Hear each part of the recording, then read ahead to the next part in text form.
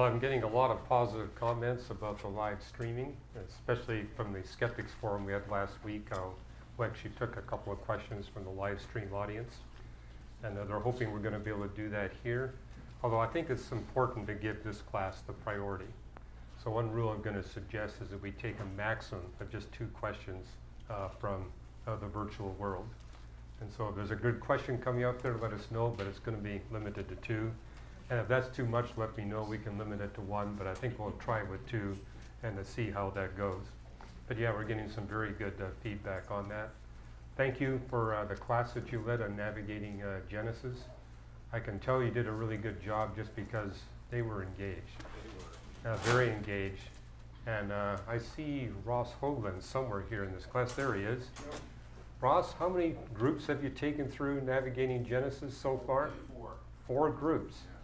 So hey, just because you've done it once doesn't mean you can't do it again. And whenever I've taken a group through, I always try to challenge people in the group. You can launch your own group. And so I can't do this. Says, yeah, all you need to do is turn on the DVD player. Because uh, basically it teaches itself. So I encourage you to, to take advantage of that. Dr. Ross, I Yes. missed your program yesterday. Well, uh, I'm sorry to hear that. Uh, I was on the Moody uh, Broadcasting Network yesterday morning, and uh, you know, uh, sorry you weren't able to make that. I was going to give a brief report on how that went. It was an hour-long uh, debate on the age of the Earth, and uh, the fellow I was debating was the one that uh, funded and wrote the script for uh, his uh, Genesis history. So, uh, and uh, you know, I did get to see the, the DVD ahead of time, so, and I've also had a two-hour conversation with uh, that gentleman, Tom Purifoy, actually before the theater release of the movie. And I mean, he is a very convinced young Earth creationist. He's got a history degree, and uh, found out uh, in the debate that he actually wrote the script. So I was wondering why these scientists and theologians that he was interviewing, people I know, uh, were you know saying things I didn't think they would say, but evidently it was all scripted. So, uh, in fact, uh, one of the young Earth creationists that was interviewed, uh, Paul Nelson, actually after the movie was released, uh, he posted an article basically saying uh, they misrepresented me. Because uh, what disturbed him, and I know Paul Nelson, unlike most young Earth creationists, he's friendly towards those of us have an old Earth perspective. And uh, he says what the movie did is it presented a false dichotomy. Basically saying, you, the viewer, have two choices young Earth creationism or evolution. It's like he didn't offer any other alternatives. I, I was pleased that Paul actually pointed that out. That was good. Uh, but I also saw several other false dichotomies that the only way you can read Genesis's history is from a young Earth perspective. And all of you in the class know we definitely teach it, uh, that it is historical. And uh, in fact, what was interesting is Tom claimed there's no way you can do this, uh, keep it as history from an older perspective because you got the sun showing up uh, after uh, plants on the fourth day. And I says, well, uh, go back to Genesis 1 2. It gives you the frame of reference for the six creation days. And, uh, you know, your issue is that you have the frame of reference above the clouds that is below the clouds. The sun's not created on the fourth day. It's created before the six days. And the sun's light becomes visible on day one. And notice the text says, let there be light. It doesn't say God created the light. Now, it's quick to add, I do believe that God created the light. But that was Genesis 1 1. In the beginning, God created the heavens and the earth. And it's interesting to understand how many young earth creationists actually don't recognize that the phrase the heavens and the earth, Shamayana rests in the Hebrew with a definite article, means the whole universe of matter, energy, space, and time. It's not the stars plus the earth. It's actually a phrase that's used for the whole universe based on the fact that in biblical Hebrew there is no single word for the universe. And incidentally, biblical Hebrew, because of its small vocabulary, frequently will use phrases for things in English that we have a single word for. And so every time in the Bible it says the heavens and the earth, it's referring to the totality of physical reality. It's used nine times in the Old Testament and is never isolating the earth. It's always focusing on everything, all, all matter, energy, space and time, stars, galaxies, light, electromagnetism, gravity, everything. It's all included uh, in that term. You will see a contrasting phrase, heaven and earth. That shows up 19 times in the Old Testament without the definite articles. It says heaven and earth. And that's a reference to the whole physical universe plus the spiritual realm where the angels dwell, where God operates. So it's basically a, a bigger term than just the universe. Heaven and earth means all of the universe plus everything in the spirit realm that God has created. Yes? In your debate, how was his attitude? Well, um, it was a lot better than the two hour private conversation I had with him. Because a two hour private conversation I had with him, and I was basically trying to appeal to and say, look, if you're going to release this movie, at least let the audience know there's more than two positions, because I heard it was going to be presenting young Earth versus evolution. And his, he was quite insistent, well, those are the only two real options that you've got. I mean, I'll tell you some of the more false dichotomies I saw. You know, one was that uh, you can only see Genesis' history from a young Earth perspective. And interestingly, I don't think you can see as history from a young Earth perspective. It's got real problems trying to look at Genesis' history from a young Earth perspective, from the very fact that you pointed out, you've got plants in their perspective before the sun exists. Well, how do you keep the plants warm? Now, in debates I've had with them, they said, well, God shines light on the earth, and that's what keeps the plants going.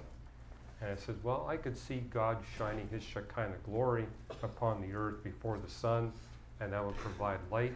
But you know, it's got to also provide heat, and it's got to be just the right electromagnetic uh, spectrum uh, coming out of that Shekinah glory, because after all, you've got to sustain this photosynthesis.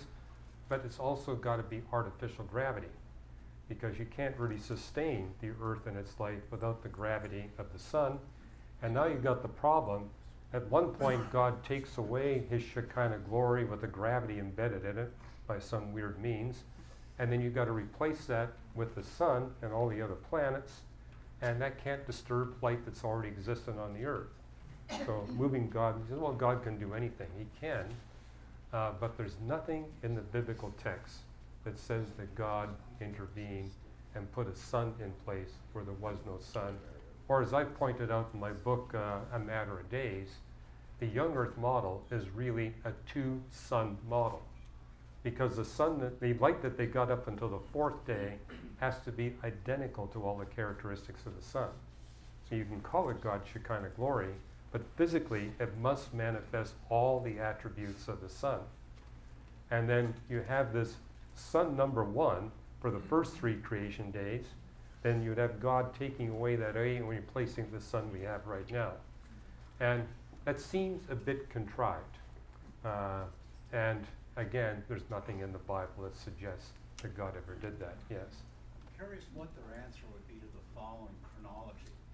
Adam is 4004 BC, according to the Vast Okay, so if you use the uh, genealogies as contiguous, meaning there's no gaps, uh, you get down to uh, Noah and the flood Noah got out of the flood, at the end of the flood, at the year tw- around 2358 BC. Uh, hmm, that means 30,000 species of animals, which they tend to use that number, that could be on the ark, instantaneously evolved into millions of species by the time of Abraham, which was only two or three hundred years later. and the population couldn't expand in 300 years to Abraham's time to millions of people. How do they deal with that? Well, that's actually going to be coming out. I mean, yeah, I did this debate, but at the very end of the debate, debate, I told the audience there's a four views coming out. So you won't be getting this false dichotomy if there's only two positions.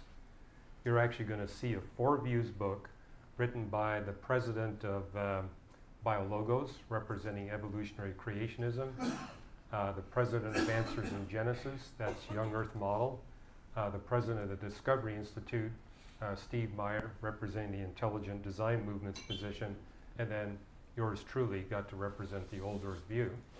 And uh, that was the subject of what was there. And what I liked about this book is coming out from um, Zondervan, and they did everything they could to try to maintain a gracious tone uh, throughout the book. Uh, but that subject did come up. And I knew ahead of time how young Earth creations respond to it, but you actually see this. I said, we're not advocating evolution, we're advocating diversification. However, their definition of diversification is indistinguishable from the definition of, you know, a Darwinian type evolutionary uh, process. And yeah, you're making a good point. and this has been brought up by several atheists, some of which I cite in a matter of days, where they basically said the degree of biological evolution that is needed to sustain the young Earth position is tens of thousands, if not billions of times more aggressive than anything we atheists have ever proposed. Because of the fact of how rapidly you got to get all these. But the young Earth responses is saying, we believe Noah took on board the ark two of every kind. But each kind would be a family or an order. And so, for example, there would be a single cat pair on board the ark. And after the flood, the single cat pair rapidly evolves into all the feline species we see on the face of the earth. And likewise, there would be a single horse type that would be on board the ark. And after the flood, that single horse type would rapidly evolve into zebras um, and uh, you know donkeys, uh, horses, and all the other uh, equine type creatures. Um, so, but yeah, it's still very aggressive. And of course, they claim that there's no carnivores until after the flood. And so you have these animals rapidly evolving uh, carnivorous. And they claim, for example, well, they had teeth uh, like carnivores before the flood, but they were eating vegetables. And then after the flood, they just used that same teeth to eat animals. But what they're overlooking is this it's not just the claws and the teeth. A far more challenging problem is the fact that the intestinal tract of the predators is radically different than that of the herbivores. And so you really are looking at a radically different animal. You know, for example, uh, the shark, uh, a third of the body weight of a shark is its liver. Because after all, it's eating predominantly fat. And so it needs this gigantic liver to be able to process its extremely high animal fat diet. And, uh, you know, uh, likewise, all the cats the cats are not capable of eating a vegetarian diet. So a dog can. I mean, you can kind of feed a dog, you know, concentrated uh, rice uh, dog uh, biscuits, and uh, it can make it uh, because it has a longer digestive tract than a cat. But if you give a cat a purely vegetarian diet, it will die. It needs meat. So, a couple things, I think, as you well know, but a lot of people aren't aware, that they maintain that the diversification, if you want to call it that, of the animals after the flood was by totally natural means. That's correct. God rested from his creation activity in the first week of Genesis, so it was by evolutionary means. Well, to push their argument, they actually argue that God designed these kinds with a super genome that was designed to rapidly diversify into thousands of different species. Now, Fuz Rana has commented on that in a couple of articles that he read, is that they, they're overlooking the genetic impossibility of having this kind of super genome that could rapidly diversify without causing widespread extinction. So, And But- the Egyptian Empire was in the twenty-three hundreds. Well, okay, one thing I brought up, because I mean, uh, Tom Purifoy was not aware that I personally debated a lot of the young Earth creationist scientists that uh, he had interviewed. And that's one reason I quickly picked up this must have been scripted, uh, because uh, the ones I knew all admit that the science is overwhelmingly against their position. And yet, when they were interviewed for this uh, theater movie, they were basically implying all the science is on our side. And so, and my comment was, you know, you can do, and the movie came across as a documentary, and it's like, you can do that in a documentary if no one is disputing your conclusions. Now, it is quite appropriate for some expert to be interviewed in a documentary and say, this is the way it is. However, it's considered uh, unethical, if not dishonest, if you're promoting a view that just doesn't have uh, any disputed, to always represent, well, there is another position. And that was never done in the movie, It wasn't even done in the theology. You know, I was quite surprised, they interviewed uh, uh, this theologian, and I think he was taken out of context as well, because he was basically saying, the only way to read the creation days in Genesis 1 is that they're 24 hours. And I've never heard a younger theologian say that. They all admit there's different ways, they just say theirs is the best way. But they basically saying there's only one possibility. And so, yeah, the movie is fraught with false dichotomies. At the very end, I heard they're going to do a sequel. Uh, this guy has lots of money, so he's going to be bringing out a sequel where they're basically going to kind of push the point that, hey, all the science is on the side of the young earth position. And because it was a very short one hour debate and there was ads that had to run and you get cut off a lot, I didn't have the opportunity to make the point. You know, in debates I personally have had uh, with young earth creationist scientists, there was two of those debates where the moderator asked this question. Do you know if any scientist who's ever been persuaded that there's credibility to the young earth position independent of a Bible interpretation. And though the debates, that's with Duane Gish and John Morris, and both of them said no. And the moderator came back with Duane Gish says, hey, you've been doing this for 40 years. I mean, in a 40 year period, you can't name or think of a single one. He says, no, I can't.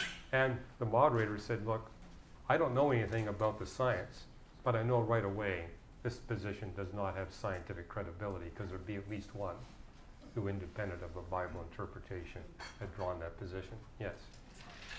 Did they touch at all on scripturally, doesn't Adam, before the fall, give names to the creatures that are really kind of based on their carnivorous nature? And did they ever come off as barring access, if you will, to reference to Psalm one oh four or Job in terms of content within the Bible that doesn't support their? Again, it was uh, just a one-hour debate, and we probably addressed that subject for all of 20 seconds. So yeah, and then the subject got changed. So no, we were not able to go uh, that far uh, with that. Or the fact that uh, this isn't a matter of days, is that they make the claim, we're not talking species, we're talking biblical kinds. But what's interesting is that the Hebrew word min, that's translated as kind, actually is defined exactly how broadly that can go. So, for example, uh, in I think it's in uh, Exodus and Leviticus, it talks about six different kinds of owls, which means that the definition, at least as it applies to birds, is really as narrow as a scientific definition for a species, if not narrower. However, you will find, again, this is in the Torah, I'm trying to remember the exact text, I think it's Leviticus, uh, actually names four different kinds of winged insects. And there it's using a broader term, a term that's as broad as a genus.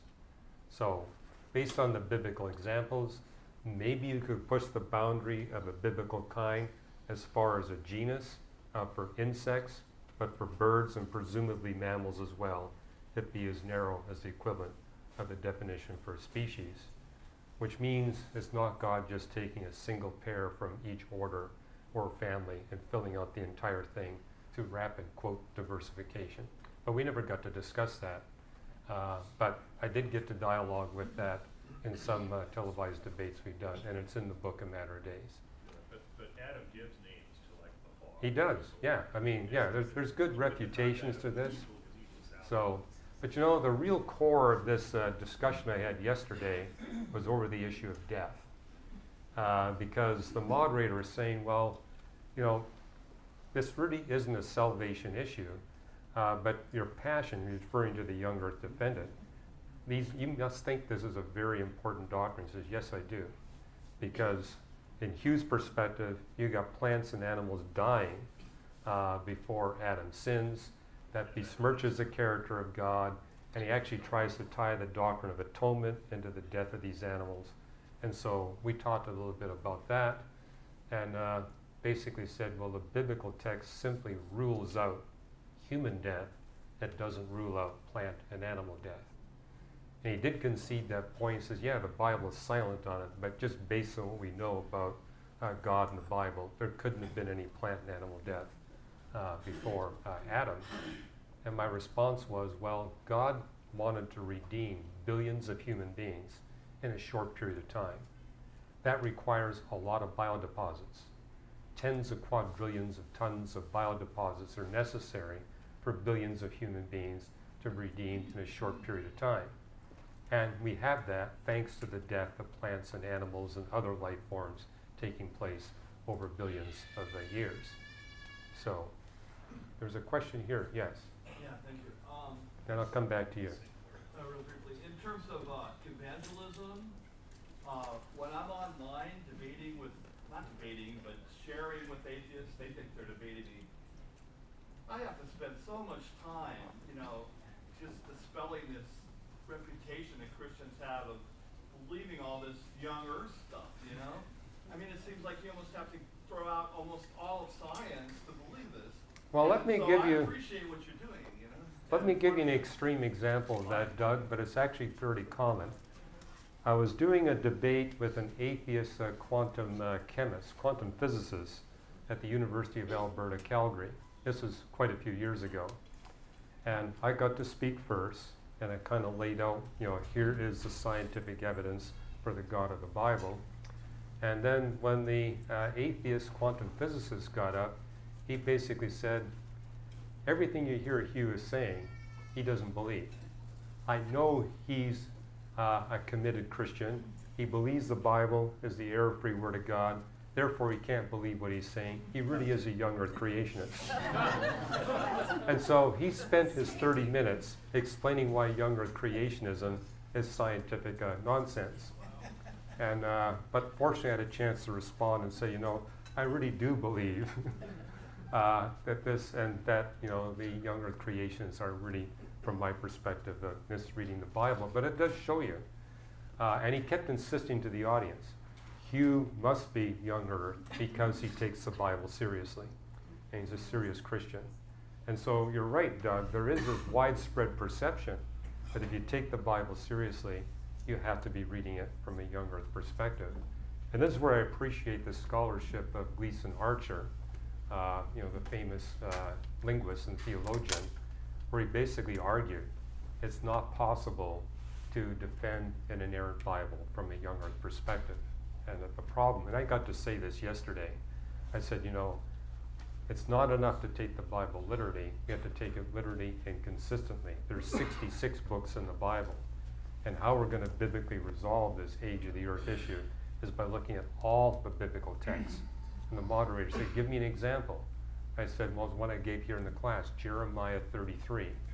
The laws that govern the heavens and the earth are fixed, they don't change. If we look at the whole chapter, God says to the Jews, You're always changing your mind. I never change. I am immutable. As proof that I'm immutable and changeless, look at the laws that govern the heavens and the earth. As they don't change, I don't change. And her comment is, what has that got to do with this age of the earth? And I says, well, talk to any young earth creationist, and you've actually heard it uh, here today. Uh, all young earth models depend on radically altered laws of physics, either at the fall or the flood, or typically both. And we're not just talking a slight adjustment, we're talking adjustment in the case of the flood of a factor of a billion times. And they all admit that that poses a problem for them. And, uh, you know, Marcus Ross was interviewed in this uh, uh, uh, theater release movie.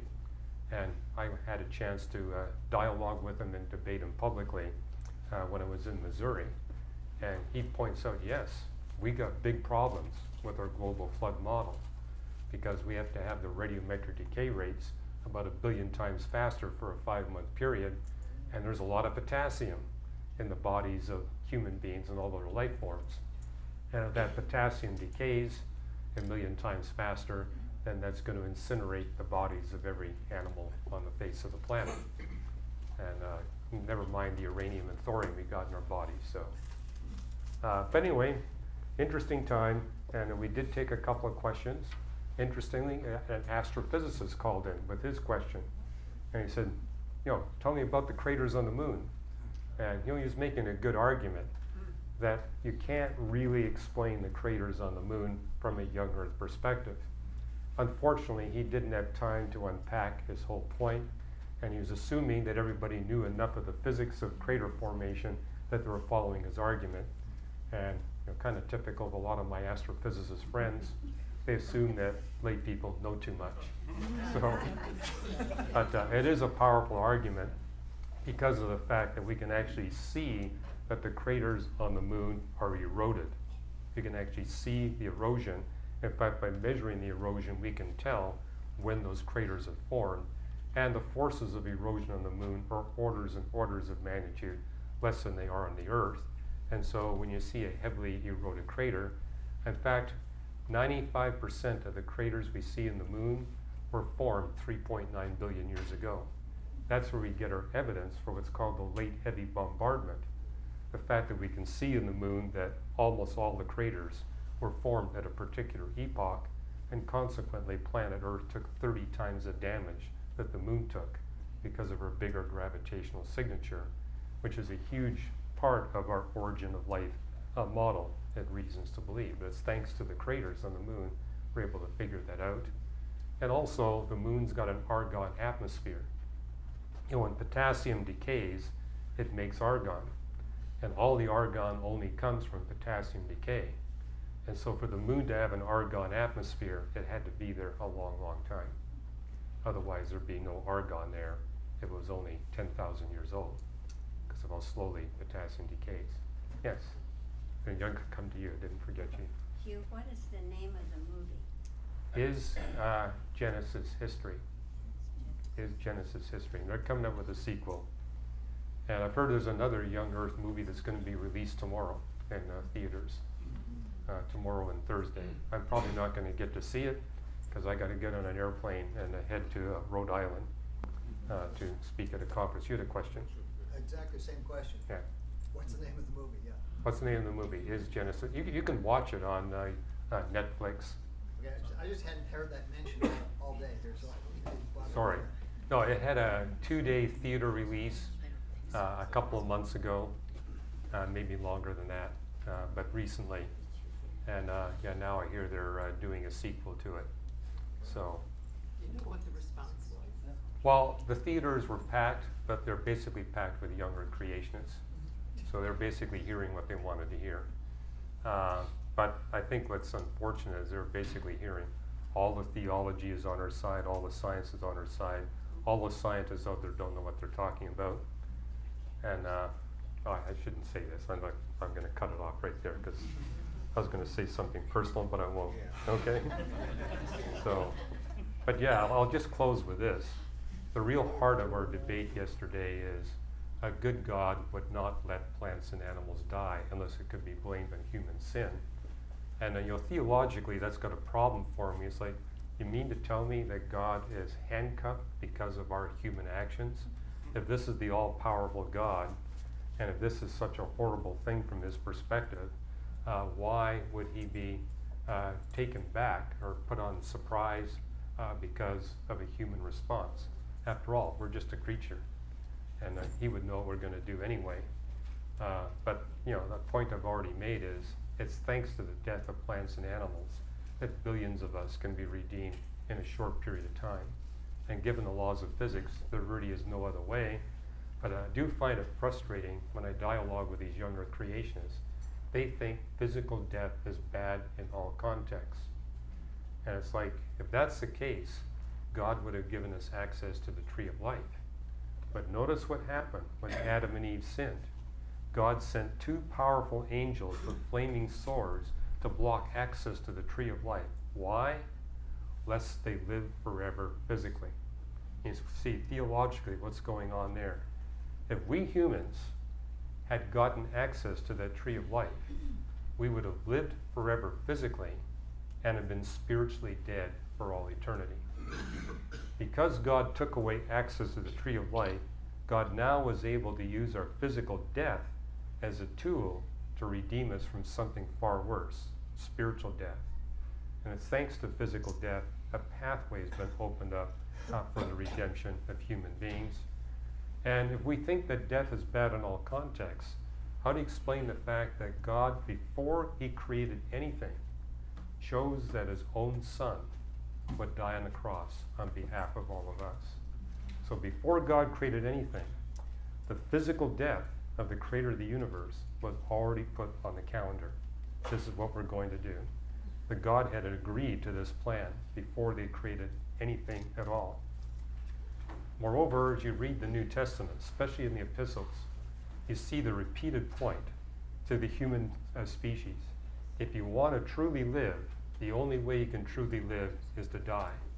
And so, coming to Christ is basically agreeing to die to self so that you can live eternally. And so, death is a pathway to life. And in that sense, I think we're mistaken to say that death is evil in all contexts. Uh, I think there was someone here that had a question. If not, I'll go to you. Go ahead. How do they respond to, one, scripture says that God provides the lion his meat, uh, the ravens their meat. Uh, if death was a sin, then God's engaged in sinful activity. Uh, plus, before the fall, what did he uh, remove all the aphids from all the vegetation before the brontosaurus could eat tons of these things? I mean, how ridiculous do you get? I mean, what point do you? s- Well, what I've heard from my young earth friends is they'll say things, well, we're not talking plants, because plants really aren't alive. So they differ on the Uh, yeah, so uh, it's basically just the animals we're talking about. And then they'll say, well, just the higher animals, the animals that can feel pain. Because after all, God would never uh, cause any creature to experience pain. And therefore, and they would claim things like uh, cockroaches don't experience pain, frogs don't experience pain. However, there's abundant scientific evidence that they do. Cockroaches, I could believe it. Well, there are papers I cite in a matter of days making the point that they've done experiments on frogs and uh, they experience fish and frogs. So, you know, when you take that hook out of a frog, it feels pain. So, um, and, you know, likewise the frog. And it, they basically feel it to the same degree we do, with one exception. They don't anticipate it. And this is something I think we need to be careful about. You can't interpret the pain of an animal uh, from a human perspective because we know pain is coming. I mean, it's called, called the dentist effect, right? when you go to the dentist, you anticipate that you're going to experience pain, and it makes the pain much worse. It's the anticipation of pain that makes the pain worse. And animals typically don't anticipate pain. In fact, my son had to take his dog to the vet this morning, um, and you know, the dog had a, quite a terrible uh, urinary tract infection, and uh, was going through pain. But it's like my son's comment is, my dog just isn't responding. And I said, well, dog is not like you. If you had the same problem, you'd be in agony. Moreover, you'd be in agony thinking, I got to go to the hospital. I know what I'm in for. Uh, your dog doesn't know what he's in for, and so is able to respond to the situation uh, with a lot more uh, calmness than you would as a human being. So, yes. Um, Hugh, this is a kind of a, something I saw on the windowsill of my uh, studio. Um, the spider and the fly. Spider had his made, and the fly was on the opposite side of the uh, of the windowsill.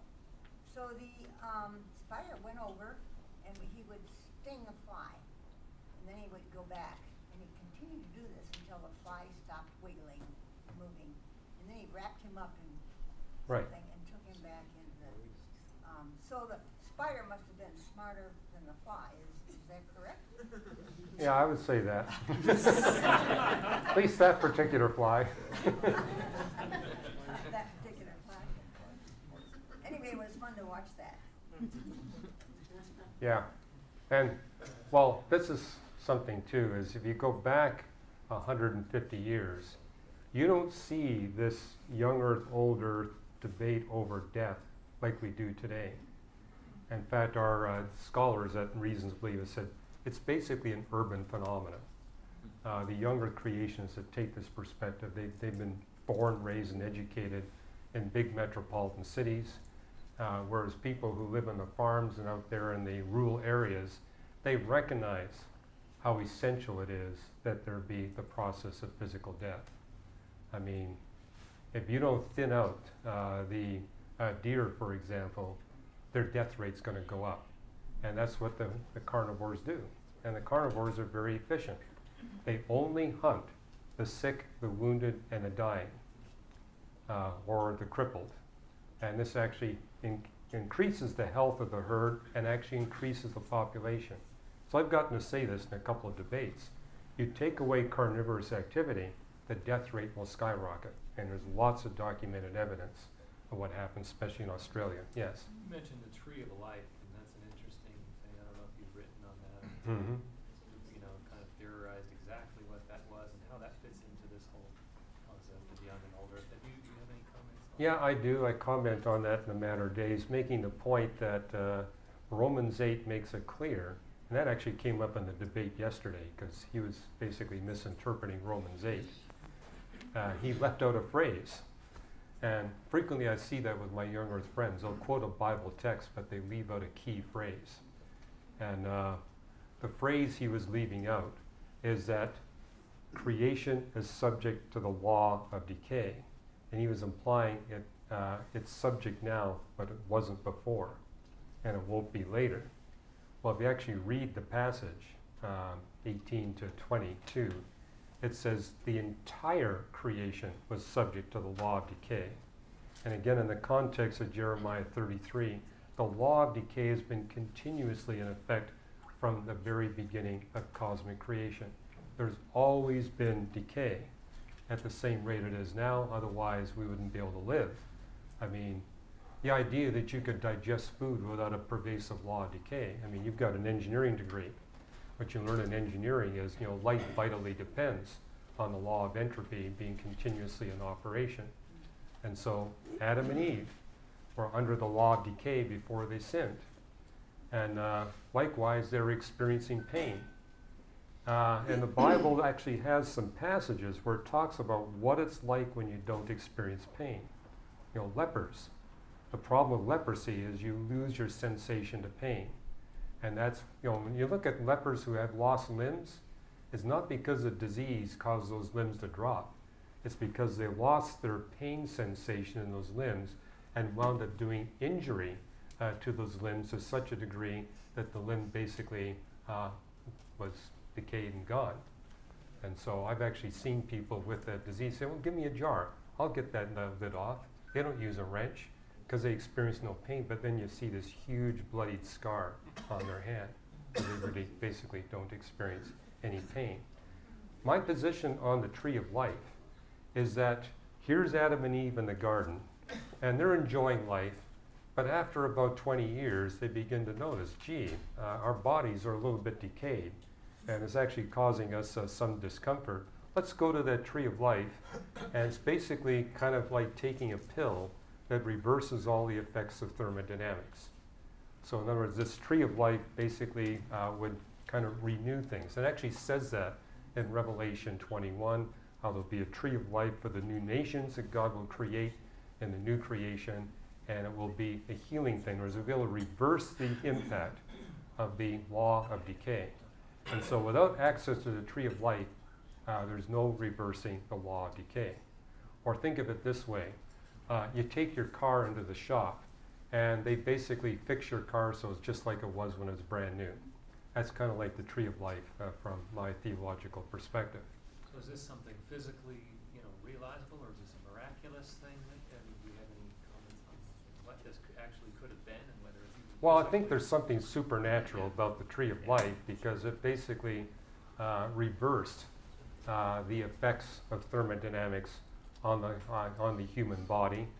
There's nothing in there to indicate that it would work for any non human animal, evidently, and you could claim it does, but there's nothing that would say it would go beyond So if your dog went there, I'm not sure it's going to restore your dog to its pristine condition. But evidently it works on humans. And that theological perspective tells us that Adam and Eve must have sinned relatively quickly. Because if it had been 50 years, they would have gone to the tree of life. But evidently, uh, the time between them being created and their rebelling against God's authority was short enough that they didn't notice any decay in their human body. And that's something you see in 2 Corinthians 4.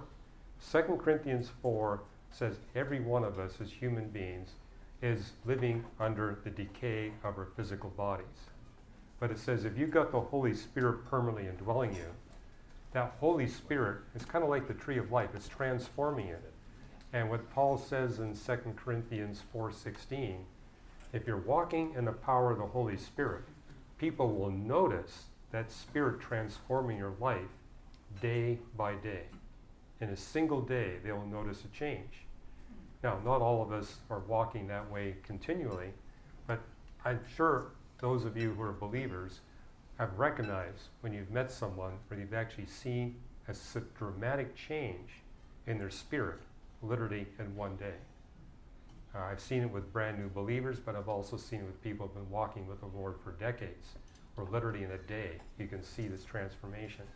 And it's encouraging because our bodies don't decay in a single day. It takes years before we notice, gee, I'm not walking as fast as I used to. I can't do the stuff I used to do. And I don't look the same as I used to. Uh, but it takes years before you notice that accumulated effect. But the Spirit can be a single day. And basically, Paul exhorts us live your lives in such a way that every single day people can see that you're being transformed. That's what's exciting about being a Christian facing physical death. We can be thrilled about the prospect of a future physical death because whatever is happening to us physically is being far outweighed by what is happening spiritually. And so we can rejoice. That's what it says in 2 Corinthians 4. If you're walking with the Lord, you can rejoice in your old age. Old age is exciting because of what's happening to you spiritually. Totally overwhelms what's going on physically. Yeah, I mean, happy. you're happy, all right? All those of you who are over the age of 50, aren't you excited? or I should put it this way all of you have been walking with the Lord for more than 10 years have probably really seen this happen. You know, married couples where they've both been walking with the Lord for more than 10 years, you can actually be more excited about your spouse than you were when you first got married. To me, that's a sign of a really good Christian marriage where every anniversary is better than the last anniversary. In fact, I'm going to get to do a wedding uh, this coming Saturday. And one of the messages I give when I officiated a wedding is my prayer for you is that uh, your first anniversary will be a sign, your first year as a married couple will be your worst year as a married couple. and every year afterwards is going to get better and better and better. And so, whatever happens in your first year, if you're committed to walk with the Lord, that's going to be your worst year of marriage. Oh, newly married couple right here. I hope I'm not discouraging you. We're good, we're good. Do you have an opinion, Hugh, on whether the tree, tree of life was a one-time thing, or was it something you would have had to have back to regularly? well, the text doesn't say. Right. So, uh, yeah, I mean, a lot of Bible interpreters have figured it out that way that the tree of life was something you only had to go to once, and that means you'd be living forever in a perfectly uh, physical state, or it was something you had to go back to repeatedly. In other words, you eat of the tree of life, it will reverse all the damage of the laws of physics in your body up to that point.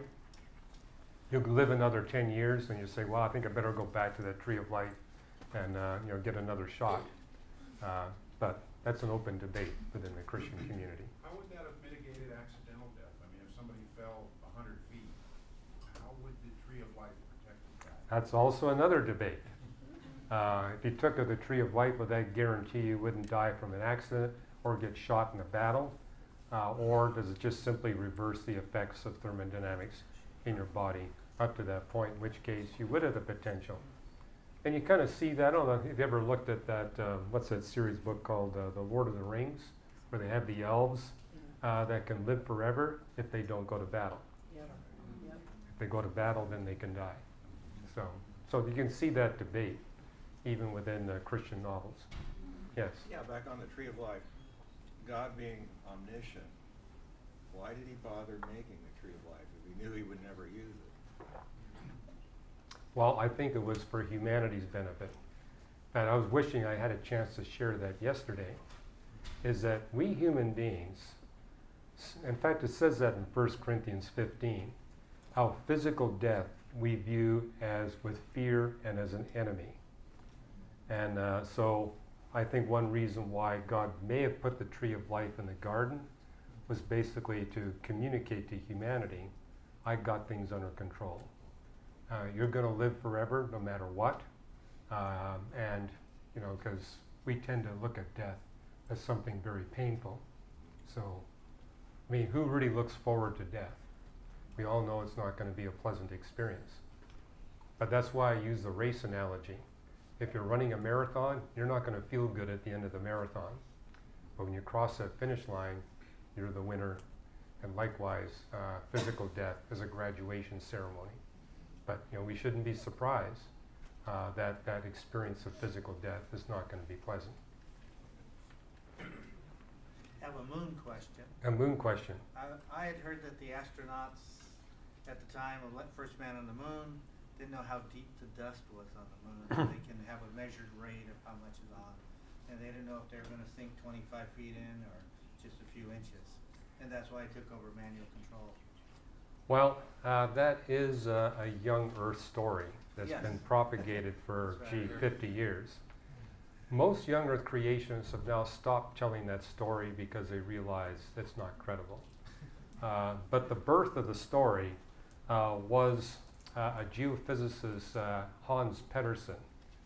And what he did is he went to Mauna Kea, uh, one of the high mountains of Hawaii, and he put a filter four feet above the top of Mauna Kea. That was before there were telescopes there. It was back in 1960. And he measured the amount of dust going through the filter. And he concluded if 100% of that dust is cosmic dust, then given the age of the moon, uh, there would be a couple of hundred feet of dust on the moon. And therefore, he said, you know, this is something we need to check before we send people to the moon. Because back in 1960, they were talking about sending people to the moon. And he says, if there's all that dust on the moon's surface, uh, we need to rethink the space program. But what he recommended at the end of the paper was I did this four feet off the top of a mountain. Uh, before we give this any credence, we need to do high altitude balloon measurements and better yet, satellite measurements.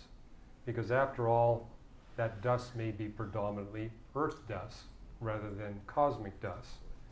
And that's how we ended the paper. Now, young Earth creationists conveniently drop out that conclusion from the paper. Because what happened long before we sent people to the moon is they actually did those high altitude balloon measurements and satellite measurements and figured out that Hans Pettersson was off by over a factor of a thousand times. And uh, actually, they were able to work out a detailed model because they found out how much, how little of that dust going through his filter was actually cosmic dust. But they also noted that he did not take into account ultraviolet breakdown of the lunar surface. And so that would give you more dust. But because his measurements were off by so much, that would drop the dust down. And so long before uh, they landed craft on uh, the moon, they determined that the average thickness of dust on the moon, if it's 4.4 billion years old, would be 60 millimeters. They said if it's 60 millimeters, then there shouldn't be any problem uh, putting craft on the moon and putting astronauts on the moon. And you know, when Apollo 9 um, mission made it to the moon, uh, you saw the astronauts come down the ladder, walking on the lunar surface, and you saw that their tracks uh, were, in fact, they were right on the nose. It was about 60 millimeters of dust. And so, but if the moon was only thousands of years old, you wouldn't have any dust. So the fact that it was 60 millimeters of dust shows that indeed it must be billions of years old. But to this day, you got some young Earth creationists saying there was a dust problem uh, with the moon. And uh, so the fact that there isn't hundreds of feet of dust proves that it's young. Uh, it's quite the opposite. Again, what I tell people is when you hear these claims, actually go to the original source. That paper is still available to be read to this day. That's the wonderful thing about the internet. You don't have to go to a university library. You can go on the internet and actually see the paper that Hans Pettersson wrote. And I give you a link in my book, A Matter of Days. So you can go straight to it. That's something else that's new about publishing. A rule we have at Reasons to Believe now, every book we publish has a DOI label that takes you straight to the internet and the article. So that you can actually pop up the book or the article that we're citing and see it for yourself. I mean, that's the amazing thing about the internet. All this stuff is immediately accessible. Now, most of the articles I cite, you will not get the whole paper unless you're willing to shell out 25 bucks. Uh, there's a financial firewall. However, you can always read the abstract of any research paper free of charge. And most journals today, once the paper is older than two years, they make it free to everybody. And yeah, that paper, 1960, it's way older than two years. Okay, in the back. And I'm going to try to get to my lesson, maybe. Well, in a lot of conversations with younger creationists, yes, their primary issue that they get emotional about is animal death, and whether God will. That is the emotional issue, animal death, you're right. They also go to, and the lion will lay down with the lamb, and it seems like they're really stuck as well on the model of eternity as being a restored Eden. Would you say that's a fair characterization? I actually devoted a chapter to that in a matter of days, making the point that far more serious than our division over the age of the earth and the age of the universe is our division on eschatology, uh, where they claim now there are at least one exception. I do know of one younger creationist leader uh, who does not hold to the idea that eternity will be here on earth. And that what's going to happen is God's going to restore, excuse me, restore this planet to the conditions it had at the time of Adam and Eve before they sinned. So Uh, you say that's fair, as most of them hold that view. I know of only one young earth creationist that does not hold that view. So, but the one that does not hold that view says, I agree with you, Hugh. This is a very important disagreement because this really does affect how we think about uh, our redemptive reward. Is it going to be this earth or is it going to be a brand new realm? And, uh, you know, he's an astronomer, so he realizes you've got huge difficulties if you're going to try to claim that God's going to have us dwell here on earth uh, for the rest of eternity. Because the physics of our planet and our solar system means that the window of time in which we humans can exist here is rapidly coming to a close. I mean, Stephen Hawking is right when he says we're going to have to leave this planet because it's not going to sustain us much longer. Now, when he says 100 years, I think that's a bit pessimistic. We could probably last a little longer, but we're not going to last a whole lot longer uh, than 1,000 or 2,000 years, at least at the state of uh, uh, technology and affluence we're experiencing right now. And even without technology and affluence, uh, this planet will be uninhabitable for human beings, regardless of our population or technology, in about 10 million years. And uh, that's not very long from an astronomical perspective. They have a real problem then when they try to read Revelation, and a lot of times they just don't even talk about it. Well, I mean, I'm millennial, so I believe when it talks about the lion will lay down with the lamb, that's 1,000 years. That's not talking about the eternal state. I do agree that's here on earth. The lion will lay down with the lamb, and the lion will not eat meat. It won't be predatory. What that tells me, however, is we human beings must be feeding all the predators because they're not going to survive unless we give them a concentrated diet of processed vegetable matter. I mean, you can do that. You can feed a cat. If you take vegetable matter, basically concentrate it, put some appropriate amino acids in it, and they can make it. But you just can't give them, uh, tell them to go eat grass. Uh, they're not going to, I mean, when your dog eats grass, it doesn't digest the grass. No, that's to uh, do something else. That's to do something else, right? and cats will eat grass so that they can throw up. So, yeah, dogs too, right? So that means we have to be processing, which tells us that I do think you're going to see something like the Garden of Eden, where these animals were not afraid of us human beings. And therefore, there's going to be this capacity to bond with these creatures in such a way that we'll be able to personally uh, feed them the food they need to be able to subsist uh, without uh, killing other animals.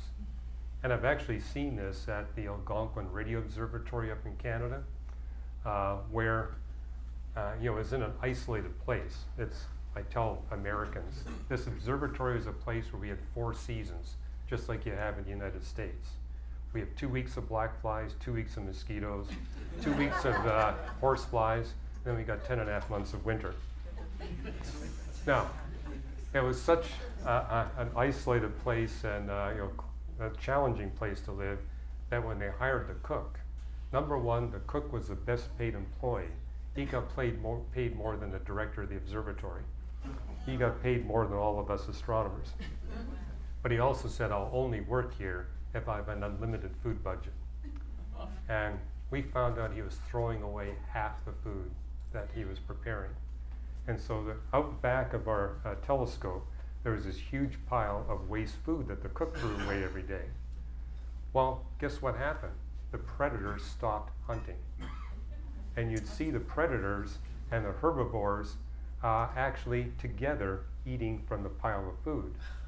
And they'd be so full that they would play with one another. So you'd see these wolves uh, playing with rabbits, and uh, you know the wolf would catch the rabbit and immediately let the rabbit go, and uh, they, they, it's like they became best friends, because it, and so the the conflict you saw between these different animals disappeared because they were eating such high quality food from the cook. I mean, the cook was providing them with food way better than anything that they could get. So, and uh, but yeah, I mean, it was kind of uh, interesting to watch all these animals gathered around, uh, basically enjoying fellowship with one another and, and feeding on that pile. And uh, yeah, I never had to worry about these 600 pound bears because as long as they're eating, they weren't going to bother me. So. Yeah, when, when I was in Vietnam, we, we had a dump nearby, we, we put the garbage, and tigers would go there and eat out of it. Yeah, So, uh, it kept things a little safer for us. they did, yeah. So, incidentally, they had to shut down that telescope because uh, the engineers there basically said, well, the cook gets isolation pay, we want isolation pay. And the government says, we're not going to give it to you. And so they basically shut the whole observatory. It still ranks as one of the world's best radio telescopes. But for over 40 years, it's been mothballed. And which tells you, you know, be careful where you put a telescope uh, because the support staff may not like to live there. And hey, I loved the period of the 10 and a half months of winter because there were no flies biting me. I hated to go there in summer. That was awful. And you want to know how awful? And we're running out of time. But I was with this American astronomer once, and we were driving a vehicle, and it was just this huge cloud of black flies, so thick that you couldn't see outside the windshield. He was going to turn the windshield wiper on. I said, Stop, don't do that. Because you're going to just have all these squash black flies there, and we're not going to be able to see a thing outside the window. At least now we can see three or four feet out the window. And so just drive very slowly and don't turn on those windshield wipers. You know, Americans can't believe that it ever gets that bad. It really does get that bad. But it only lasts two weeks. Yes. For that facility, maybe the solution is just find cheaper chefs. Find cheaper what? Chefs. Find cheaper chefs. And the other people won't feel so bad and not making as much money the chef. Well, I'll tell you one little story about that. Because they had to give this uh, chef, uh, you know, week's vacation. And I happened to be on the telescope when the main chef was on vacation. So they brought this guy in for three weeks. So, uh, and I was observing 24 hours a day, and it was a six day run. I was younger back then, I could handle that. I couldn't do that now. Uh, but I remember talking to the cook saying, Look, I can't come uh, to the dining hall. I'm going to be stuck at the control desk of the telescope the entire time. And so I need for you to, to make me lunches. And he says, Well, how many lunches do you need? Well, I said, I'm going to need five a day because I'm not going to be sleeping. So uh, please, uh, I'm going to need five lunches a day. And I just have them, uh, one of the engineers bring it. Okay, I get on the telescope. I'm on the telescope for two hours. Six days of lunches arrive all at once. And the engineer who's working with me says, Tell you what, how about if I trade my lunch for your lunch, sight unseen? Evidently, he'd been there, he knew what it was hap- hap- happening. So I said, Sure, you can pick any one of my lunches, I'll trade you for your lunch. So he immediately opens up my lunch and he says, Bologna sandwiches. And so I looked at all, I had 30, uh, no, it was actually, yeah, uh, 30 lunches there. We opened up every bag, every bag was bologna sandwiches. bologna sandwiches on white bread. That's all I had to eat for that whole week. there was almost a riot that broke out at the observatory because they said, you know, can't you get the cook to cut his vacation and come back? Pay him extra, whatever you got to do. We, we can't handle this guy just giving us bologna sandwiches all the time. so, yeah, for a six day period, all I had to eat was bologna sandwiches. But what was fun is every time the engineer would come, well, I would get a different engineer for every shift. And each engineer would say, Can I trade? Because they all thought there's no way they're going to give the astronomers the same food we're eating, right? so I always would trade with them, and I'd get the same reaction. Oh no! so yeah, you get what you pay for. that chef came cheap, but boy, we got what we paid for. All right, let's see him at a time. All right, okay. I got a question for you for next week because you know we're trying to wrap this up, get through Ecclesiastes 12. We're actually going to spend some time on Ecclesiastes 11 uh, because it's. So I want you to read all of Ecclesiastes 11 and 12, and I want you to think about applying this in the context of evangelism and apologetics. I mean, you got phrases like "cast your bread upon the waters," and basically it's saying diversify your investments. Well, actually, what I'm going to suggest is this is a text that's telling us, based on the context of the rest of the book, because I've mentioned the theme of the book is this is a playbook on how to reach atheists that think there is no God. That's what this whole book is all about. So I want you to interpret Genesis 11 and 12 in that context. Uh, we're really serious. If we're really serious about reaching people who think there is no God, and it's not just atheists, I'd say agnostics are in that category. A lot of deists actually live their lives if there is no God. How are we going to reach these folks? You're going to have to reach them with a diversified portfolio of apologetics tools. So I want you to think about that. And then as we move on, for those of you especially a little bit younger in the class, notice the theme. Remember your Creator when you're young. The time to get serious about this is not when you're 50 years of age. The time to get serious about this is when you're 10, 12, 15, 20. And uh, so we're going to get into why it's so important that we give this serious attention when we're young and not wait till we're older. Uh, but we're going to also finish up this theme about how it is God knows all your thoughts and all your motives, and we need to live our lives accordingly. I'm going to give you a couple of cross reference passages to look at, and uh, ones we haven't studied yet, which is basically Hebrews 4, verse 10, Isaiah 40, uh, verse 27. But next week, I got a question for all of you. Because this is all talking about the fact that God not only knows all your thoughts and your motives, He knows your fears and your doubts. And this is a big factor in evangelism apologetics, identifying the fear and the doubt of people you're talking to. And incidentally, a lot of Christians struggle with fears and doubts. And so I want you to think back in your past. Is there a doubt that you experience that caused you some fear about God's care about your uh, life and His role in your life? And I know every one of you can answer that question with yes. But I'm giving you a whole week to think about. Think of a significant period in your life when a doubt uh, was crippling you in terms of you know, generating fear, anxiety. Maybe fear is not the right word. Did you ever have a doubt that caused you some anxiety? Uh, about your own walk with the Lord, but about your witness. Uh, because when you got an anxiety like that, it tends to blunt your willingness to engage others with your Christian faith. So I want to hear some testimonies next week. Can you give those passages again, Let me give you the passages again. Isaiah 40, uh, verse 27,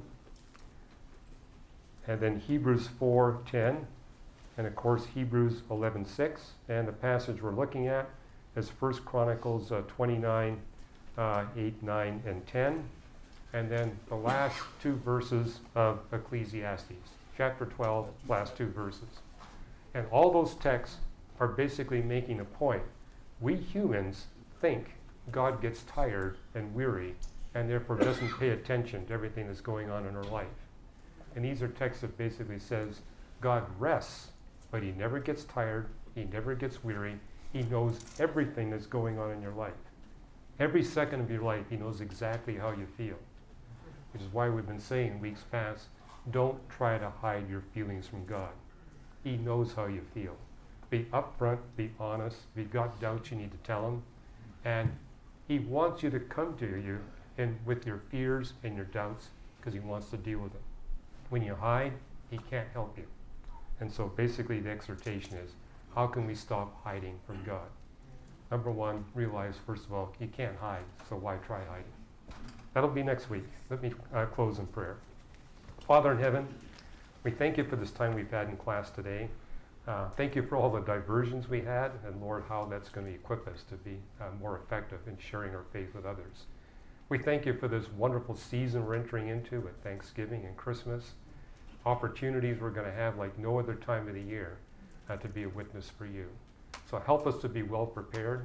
Help us to be gracious and loving with everyone we do engage, that your love, your truth, and life might penetrate hearts into salvation. In Jesus' name, Amen. Amen. Thank you.